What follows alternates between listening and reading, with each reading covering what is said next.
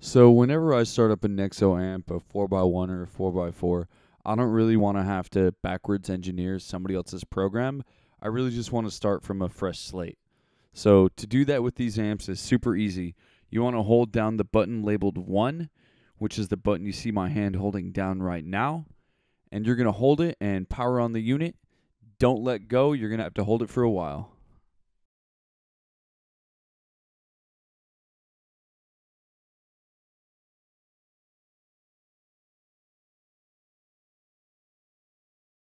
You're going to see reset settings and hit yes.